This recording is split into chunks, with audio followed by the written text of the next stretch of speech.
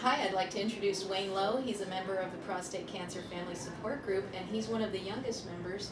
Wayne, would you like to tell us your age and kind of your story Okay, I am actually 54, uh, four, four and a half years cancer surviving. Um, I was diagnosed at age 50 uh, with advanced prostate cancer, stage 4, Gleason 9, and uh,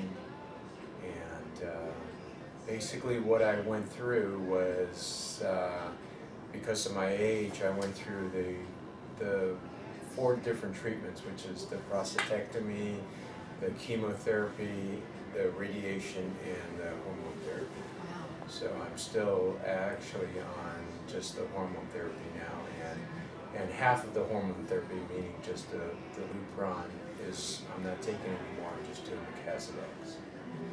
Um, the biggest your, oh, the biggest thing for me when I when I found out about it was just just the whole shock of uh, I'm self-employed, so first thing was I, I had to worry about my business. I had to worry about my staff. Sure. My youngest child was 13 years old at the time, my oldest was, uh, let's see, 17. So um, that that kind of hit you hard, and, and Sure. I didn't even worry about the disease so much, rather than just trying to figure out where to go from there. Mhm. Um, I came to the group because um, uh, a good friend of mine is Mr. Mr. Is it George Getty, right? Or Getty George? I'm Mr. Oh, George. okay. Mr. George. And uh, he told me about it, and I said, well, let me let me figure out what, what the group's all about. So I came, and and it was interesting because I felt like I was like a, a, a young man out of place because the average age I think is probably in their 70s. That. That's my Mhm. guess. So um, so it was interesting, and, and and when you're 70 years old and retired versus 50 and and thinking about your life way ahead as far as work, et cetera, it's, a, it's a different different uh, kind of feeling as far as where you are in your life. So Yeah, I bet.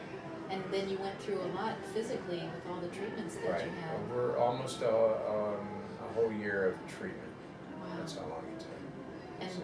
were you coming to meetings here during that time? Was that helpful to you? Actually, I didn't come to the meetings till after Oh, okay. after the whole treatment was done. So I came, I started coming um, in '07.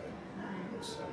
And was that helpful to you, learning about, you know, the after effects and that kind of thing and going on with your life? Yeah, it was very helpful, and, and, and the different speakers were also very helpful. But um, again, it's it's pretty when you have advanced prostate cancer, the treatment is a little a little bit different depending on your age and depending on on, on how advanced it is. Mhm. So Yeah, so they went after it pretty aggressively. pretty aggressively, right? right.